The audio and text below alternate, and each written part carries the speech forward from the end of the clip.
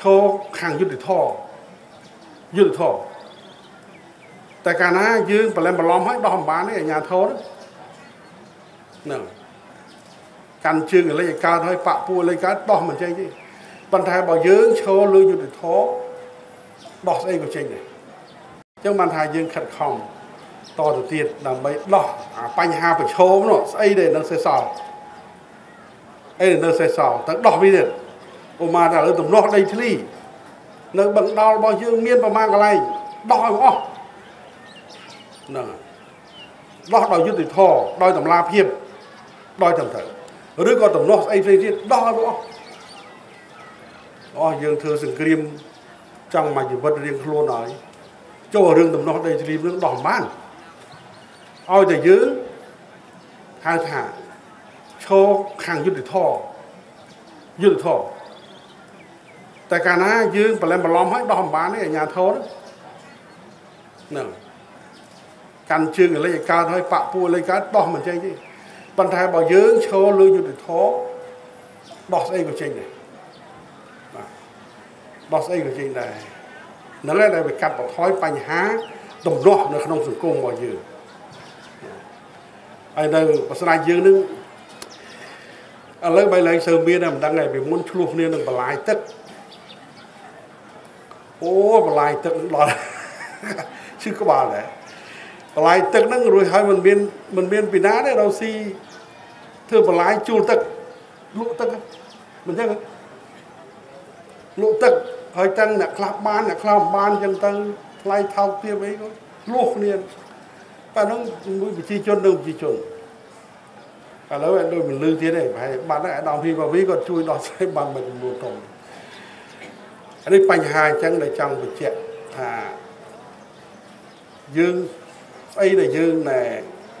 មិនទាន់ធ្វើយើងធ្វើតទៅទៀតណាកែតម្រង់វាហើយ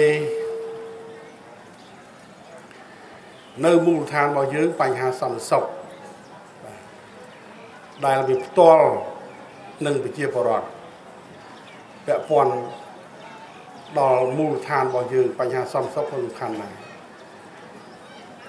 យើងមានគោលនយោបាយភូមិឃុំមានសុវត្ថិភាពគោលនយោបាយនេះ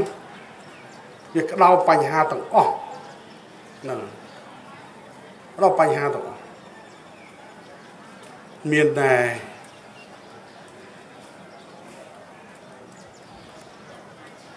លុបបំបត្តិអំពើចោលលួចចោលប្លន់ណា គ្រឿងញៀនក្មេងទំនើងជួញដូរមនុស្សពិសេសស្ត្រីនិងកុមារចរាចរណ៍បញ្ចរាចរណ៍នៅយើងនេះប្រហែលជាមិនអីប្រហែលទេព្រោះឆ្ងាយពីផ្លូវផ្លូវវាផ្លូវវាមិនសូវល្អមិនសូវគ្រោះថ្នាក់មកនេះដល់ផ្លូវល្អទៅគ្រោះថ្នាក់ចរាចរណ៍ច្រើនហើយរឿងបរិស្ថានរឿងអីហោហែច្រើន នៅកន្លងទៅនេះគឺក្នុងរយៈពេល5ឆ្នាំយើងកាត់បន្ថយបើខ្ញុំមិនច្រឡំទេយើងកាត់បន្ថយគ្រោះថ្នាក់នឹងគ្រោះសន្ទុះកាត់បន្ថយអីណែបត់ល្មើសបត់ល្មើសនឹង11%បាទបត់ល្មើសលួចប្លន់នេះ11%ហើយយើងប្រក្រាបរហូតដល់90%បានន័យថាបត់ល្មើសកើតឡើង100 យើងប្រក្រាបបានជោគជ័យ90បាទអានោះមិនធម្មតាទេបញ្ជាក់ឲ្យឃើញពី សមត្ថភាពរបស់នគរបាលយើងក៏ប៉ុន្តែខ្ញុំគិតថាបើគ្មានការគ្រប់គ្រងចូលរួមពីប្រជាពលរដ្ឋទេយើងក៏ធ្វើមិនបានដែរក្នុងនោះមានប្រជាការពារដែរដែលបានចូលរួមក្នុងការប្រឆាំងបទល្មើសនេះនេះអានោះសំខាន់ ចឹងហើយសូមមេត្តាបន្តគ្រប់គ្រងគោលនយោបាយភូមិឃុំមានសម្បត្តិភាពតទៅទៀតមានច្រើនផ្នែកតែខ្ញុំនិយាយចុចតែមកតាក់ទងបញ្ហាតាក់ទងនឹងសន្តិសុខទេបាទពេលប៉ុណ្ណេះនៅក្នុងនោះវាមានការផ្ដល់សេវាសាធារណៈជូនប្រជាពលរដ្ឋអានឹងគ្រប់ក្រសួងស្ថាប័នរដ្ឋបាលគ្រប់ថ្នាក់សិតតែមានភារកិច្ចដើម្បីផ្ដល់សេវាជូនប្រជាពលរដ្ឋ ប្រកបដោយប្រកបដោយតម្លាភាពនិងជឿទុកចិត្តក្រសួងកសិកម្មធ្វើអីក្រសួងធនធានទឹកធ្វើអីក្រសួងអភិវឌ្ឍជនបទធ្វើអីក្រសួងមហាផ្ទៃធ្វើអីអក្រសួងណែពាណិជ្ជកម្មធ្វើអីជាដើមលាក់នឹងលាក់ច្រើនបាទក្រសួងសុខាភិបាលក្រសួងអប់រំធ្វើអី ដើម្បីបំរើប្រជាពលរដ្ឋបំរើប្រជាពលរដ្ឋ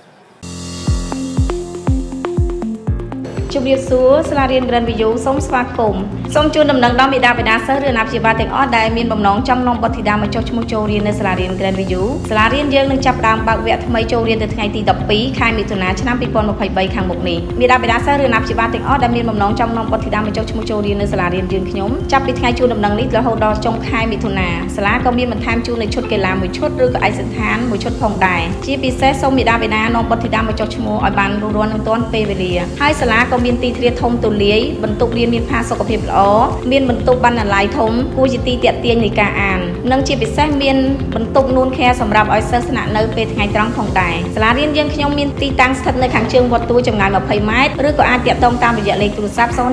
438 439និង078 438 439សូមអរគុណសាលា Grand View ជឿជាក់លើទេពកោសល្យបុត្រធីតារបស់អស់លោកអ្នក